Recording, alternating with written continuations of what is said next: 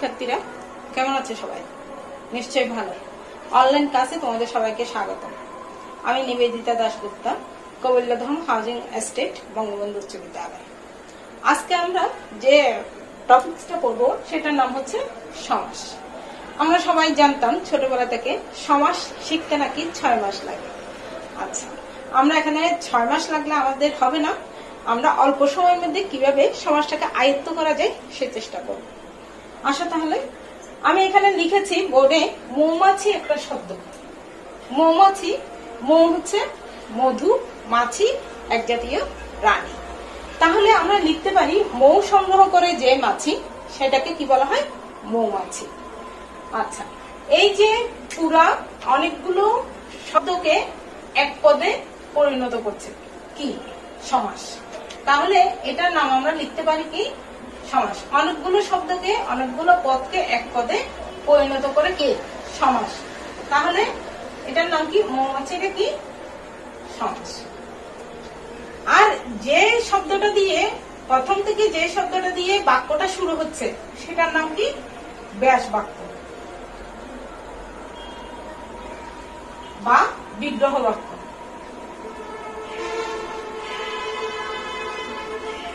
তাহলে সমাসের কাজগুলো কি কি হতে পারে? সমাস কি করে? অনেকগুলো পদকে এক পদে পরিণত করে তাহলে আমরা প্রথম কাজ লিখতে পারি সমাসের এক পদে পরিণত করে।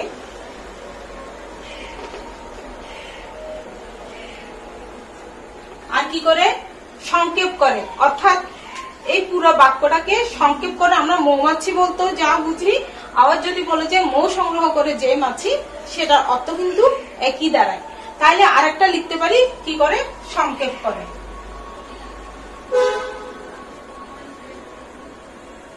আর কি লেখা যায়? এখানে কি আছে? আমরা জানি প্রত্যেকটা শব্দই কিন্তু এক একটা পদ। তাহলে এই যে শব্দগুলো, মৌ সংগ্রহ করে যে মাছি, এটাকে যদি আমার ইচ্ছা মতো, আমি লিখি। যদি লিখা যায়, মাছি সংগ্রহ করে মৌ, হলো না।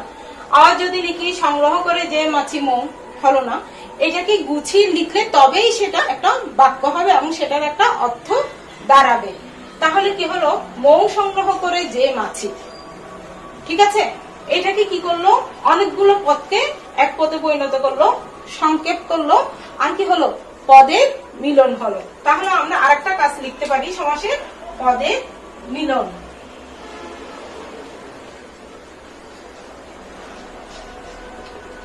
পদের মিলন হলো। তাহলে সমাসের কয়টা কাজ?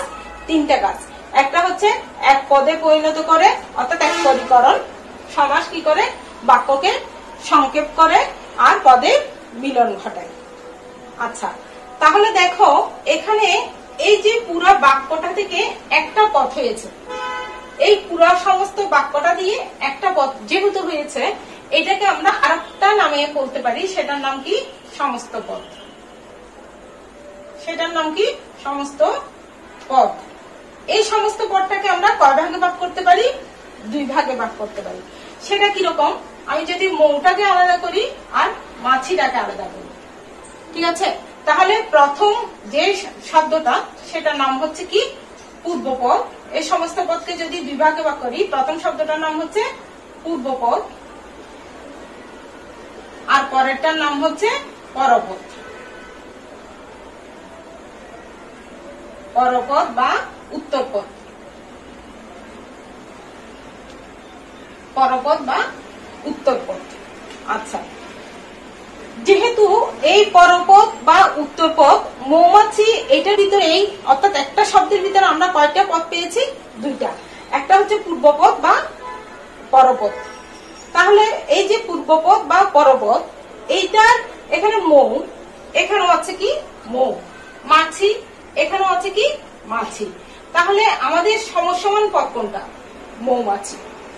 সমসমান পদ কোনটা? মৌমাছি। তাহলে এই যে পূর্ব পূর্বপদ আর পরপদ দুটাকে আরেকটা কি নামে ডাকা যায়? আরেকটা নামে ডাকা যায়, সেটা হচ্ছে সমস্ত পদ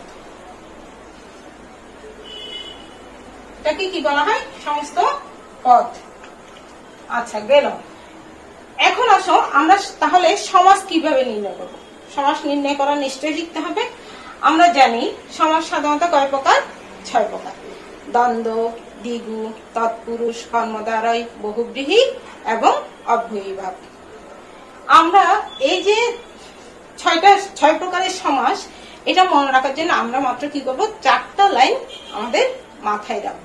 আমরা মুখস্থ করব না, এই চারটা লাইন মাথায় রেখে আমরা বোঝার চেষ্টা করব কি করে সমাজটাকে আমরা মাথায় রাখতে পারি বা কি করে তাড়াতাড়ি আয়ত্ত করতে পারি। তাহলে চারটা লাইনগুলো কি কি? প্রথম লাইন, প্রথমটা দেখো। দ্বন্দ্বে, প্রথমে আছে আমরা জানি দ্বন্দ্ব সমাজ। দ্বন্দ্বে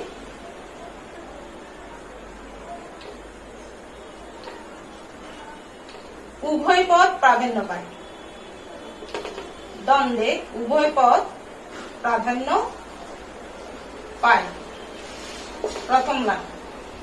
দ্বিতীয় লাইন লিখো, দ্বিতকে গায় দ্বিতকে গায় পরপদে গান।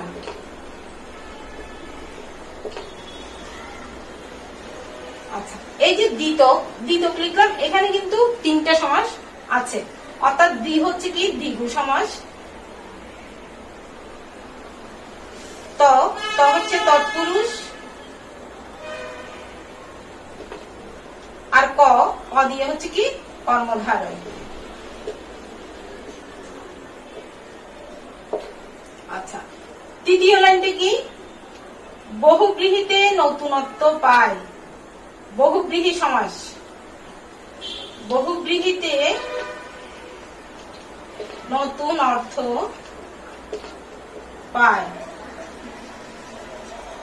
চতুর্থ লাইনটা কি? চতুর্থ লাইনে লিখ, অদ্বৈতে পূর্বপদ। অদ্বৈতে পূর্বপদ। এগুলো লিখে হলো আমাদের কাছে যে চারটা লাইন ছিল এই চারটা লাইন আমরা শুধু মাথায় রাখব। তাহলে উদাহরণের মাধ্যমে এগুলোতে কি করে ফেলা যায়? এটা একটু দেখে আচ্ছা। উদাহরণের মাধ্যমে প্রথমে দেখো, একটা লিখলাম, মনে করো, মা বাবা। তারপর লিখলাম, সপ্তর্ষি। তারপর লিখলাম, রাত দেখা। কাজল কালো।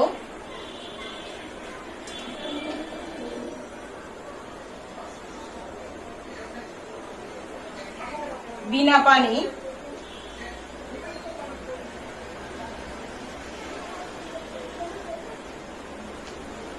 তারপরে দুর্নীতি।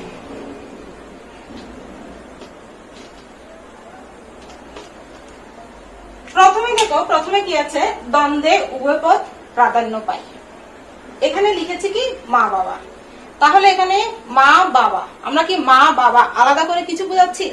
না, আলাদা করে বুঝাচ্ছি না। মা, বাবাকে একসাথে বলছি। তাহলে এখানে পূর্বপদ কি? মা, পরপদ কি? বাবা। এখানে দুইটা পদই প্রাধান্য পেয়েছে। তাহলে এটা আমরা কি ধরে নেব? দ্বন্দ্ব সমাস। আরেকটা জিনিস মাথায় রাখতে হবে। আরেকটা সেটা হচ্ছে আরেকটা টিপস সেটা হচ্ছে কি দ্বিগু সমাসে আমরা একটা কি কি দেখব? সংখ্যা দেখব। যখনই সংখ্যা দেখব, তখন সেটা কি হবে? দ্বিগু সমাস হবে। এটা, এটাও লিখে রাখুন দ্বিগুতে কি দেখব? সংখ্যা দেখব। কর্মধারে কি দেখব? তৎপুরুষ সমাসে কি দেখব? তৎপুরুষে দেখব তৎপুরুষে কি?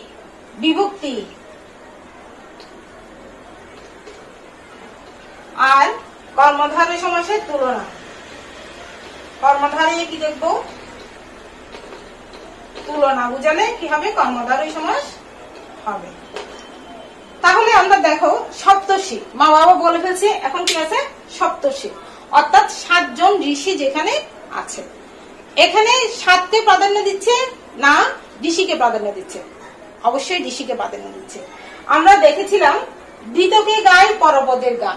অর্থাৎ দ্বিগু সমাসে পরপদ প্রাধান্য পাবে। তৎপুরুষ সমাসে পরপদ প্রাধান্য পাবে। কর্মধারয় সমাসে পরপদ প্রাধান্য পাবে। একটু বলে রাখি, সমাসে কিন্তু কখনো কখনো পূর্বপদ প্রাধান্য পায়, কখনো পরপদ প্রাধান্য পায়, কখনো দুইটাই প্রাধান্য পায়, আর কখনো কোনোটাই প্রাধান্য পায় না। আমরা জানি, লিখেছি এখানে দ্বিতকে গায় পরপদের গান। অর্থাৎ দ্বিগুতে পরপদ, তৎপুরুষ সমাসও পরপদ কর্মধার সমাসও পরপদ প্রাধান্য পাবে। সপ্তর্ষি সাতজন ঋষি আছে যেখানে। এখানে কি বোঝাচ্ছে? সাতজন ঋষিকে বোঝাচ্ছে। আবার সাতটা একটা সংখ্যাও। তাহলে পরপদ প্রাধান্য পেয়েছে, সাতটা একটা সংখ্যা। এটা কোন সমাসে ফেলা যায়? নিশ্চয় দ্বিগু সমাস। আচ্ছা এরপরটা দেখো। রথ দেখা। রথ। অর্থাৎ আমি একটা রথকে দেখছি। রথকে দেখছি। অর্থাৎ রথ দেখা হচ্ছে রথকে দেখা। কে? কেটা কি? বিভক্তি। আমরা বলেছি কি তৎপুরুষ সমাসে কি প্রাধান্য পাবে? বিভক্তি থাকলে আমরা বুঝব সেটা তৎপুরুষ এবং পরবর্ত থাকলে সেটা দেখব কি? তৎপুরুষ। তাহলে আমি দেখছি কাকে? রথকে দেখছি। দেখাটাই হচ্ছে আমার উদ্দেশ্য। যেহেতু কে আছে, সেটা কোন সমাস হবে? অবশ্যই তৎপুরুষ সমাস। এরপর কি আছে? কাজল কালো। আমরা যখন কোনো কালো জিনিস দেখি, তখন বলি যে সেটা কাজলের মতো কালো। তাহলে কিসের সাথে তুলনা করছি? কাজলের সাথে কালোটাকে তুলনা করছি। অর্থাৎ কালোটা বুঝাতে গিয়ে আমি কাজলকে টেনে আছি তুলনা করছি না? আগেই বলেছি, তুলনা করলে কোন সমাস হবে? কর্মদ্বারাই সমাস। গেল। এবার আসো, বহুগৃহীতে নতুনত্ব পাই। সেটা কীরকম? মনে করো, বিনা পানি। বিনা। এই বিনা অর্থ কি? একটা বাদ্যযন্ত্রের নাম। আর পানি অর্থ কি? পানি অর্থ হচ্ছে হাত। তাহলে এখানে বিনা পানি, বাদ্যযন্ত্র বা হাত, কোনোটাকে কি বুঝিয়েছে? কোনোটাকে বুঝায়নি। কেন বাদ্যযন্ত্রও বলা হয়নি বা হাতকেও মিন করা হয়নি? এখানে কি বোঝানো হয়েছে? একটা দেবীকে বোঝানো হয়েছে। অর্থাৎ সরস্বতী দেবীর আরেকটা নাম হচ্ছে বিনা পানি তাহলে আমরা দেখেছি কি বহুব্রীহিতে নতুনত্ব পাই। তাহলে এই যে বিনা পানি এটা পুরোটাই চেঞ্জ হয়ে গেল না অর্থটা? নতুনত্ব পেলাম না? এটা আমি ধরে নেব কোন সমাস? বহুব্রী সমাস। গুড এবার আসো অব্যয়ীতে পূর্বপদ দুর্নীতি। এখানে এই যে দূর দুটা হচ্ছে কি? একটা উপসর্গ। এই দুটার অর্থ অভাব। দূর। এখানে রেফ আছে, যেহেতু দূর, দূরত্ব হচ্ছে কি? অভাব। অর্থাৎ যার মধ্যে নীতির অভাব আছে, তাকে কি বলা হয়? সেটাকে দুর্নীতি। দেখবে আবার মা বাবার সাথে দুর্নীতি করো না কিন্তু। হ্যাঁ? ঠিক আছে দেখো তাহলে নীতির অভাব থাকলে কি বলা যাবে? দুর্নীতি। যেহেতু নীতির অভাব আছে, আমরা এখানে কোন পদকে প্রাধান্য দিচ্ছি? প্রথমটাকে। অভাবটা থাকলেই তো, নীতি যেখানে নাই সেখানেই তো দুর্নীতি। তাহলে কোন পদকে প্রাধান্য দিচ্ছি? পূর্ব পদকে। প্রথমে বলেছিলাম, অব্যয়ীতে কোন পদ প্রাধান্য পাবে? পূর্ব পদ। তাহলে দুর্নীতিটা কোন পদ? পূর্ব পদ। আচ্ছা তাহলে প্রথম থেকে একটু আমরা সমাজটাকে আলোচনা করে দেখি। সমাজ কাকে বলে মূলত? সমাজ হচ্ছে অনেকগুলো পদে এক পদে পরিণত করাকে কি বলে? সমাস বলে। সমাসের তিনটা কাজ, সেটা হচ্ছে এক পদীকরণ সমাস বাক্যকে কি করে? সংক্ষেপ করে এবং অনেকগুলো পদের মিলন ঘটায়। এই যে অনেকগুলো পদের মিলন ঘটালে সেটাকে কি বলবে? সমাস বলবে। আবার এই পুরো বাক্যটা, সমস্ত বাক্যটা দিয়ে একটা পদ হয়েছে বলে সেটাকে কি বলা যায়? সমস্ত পদও বলা যায়। সমস্ত পদকে ভাগ করা যায় দুই ভাগে। একটা হচ্ছে পূর্বপদ আর একটা হচ্ছে পরপদ। যেহেতু এই যে পূর্বপদ আর পরপদ এটাকে আমরা কোথেকে পেয়েছি? পুরো বাক্যটাকে পেয়েছি। তাহলে পুরো বাক্যটার পাওয়ার পিছনে কাজ এবার এই শব্দটার। অর্থাৎ মৌমাছি। মৌমাছি শব্দটা হচ্ছে আমাদের কি? সমসমান পদ এটার আরেকটা নাম হচ্ছে কি? সমসমান পদ এই সমসমান পদটা আমাদের দেওয়া থাকে। এরপরে এটাকে ভেঙে আমাদেরকে সমাস গঠন করতে হয়। তাহলে সমাজ গঠনের প্রক্রিয়াটা কীরকম? আমরা বলেছিলাম চারটা লাইন আমরা মুখস্থ রাখব। প্রথম লাইনটা হচ্ছে, দ্বন্দ্বে উভয় পদ, প্রাধান্য পাই দ্বিতকে গাই পরপদে গান। বহুগৃহীতে নতুন অর্থ পায়, অব্যয়ীতে পূর্বপদ প্রাধান্য পায়। সেগুলোর আমরা কিছু উদাহরণের মাধ্যমে দেখেছি। মনে করো এখানে যদি মা বাবা না দিয়ে দেশ বিদেশ দেয়, দেশ আর বিদেশ একসাথে বুঝাচ্ছে, কোনোটাকে আলাদা করে বুঝাচ্ছে না, তাহলে আমরা ধরে নেব সেটা কি? দ্বন্দ্ব সমাস। আর সেখানে মনে করো সপ্তর্ষি আছে, ওখানে সপ্তর্ষি না দিয়ে যদি আমাকে দেয় ত্রিফলা। ত্রিফলা যদি দেয়, তাহলে তিনটা ফলের সমাহার। এখানে তিনটা ফলকে বোঝানো হয়েছে। আমরা বলছিলাম কোনটা? দ্বিতকে অর্থাৎ দ্বিগ সমাসে পরপদ প্রাধান্য পাবে। আবার কি থাকবে? সংখ্যাও থাকবে। দুইটাই পেলাম, তাহলে সেটাকে কোথায় ফেলতে পারি? দ্বিগ সমাসে। এবার আসো তৎপুরুষ সমাসে। তৎপুরুষ সমাসে কি প্রাধান্য পাবে?